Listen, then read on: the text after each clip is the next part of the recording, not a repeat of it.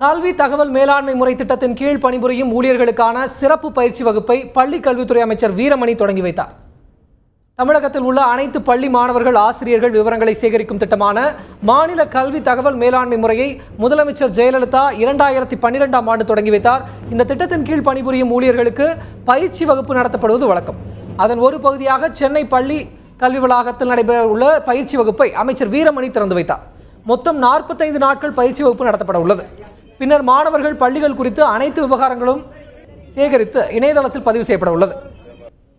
அமைச்சர் அவர்கள் இந்த திட்டத்தில் நம்ம பள்ளி கல்வியை துறையை சேர்ந்த ஆசிரியர்கள் கம்ப்யூட்டர் தெரிஞ்ச ஆசிரியர்களை தேர்வு செஞ்சு அந்த ஆசிரியர்களை ஒரு தனி செல்ல ஒரு தனி சிறப்பு அவங்களுக்கு ட்ரைனிங் சிறப்பு ட்ரைனிங் கொடுக்க சிறப்பு பயிற்சி கொடுக்கறதுக்காக இன்னைக்கு துவங்கி வச்சிருக்கிறாங்க.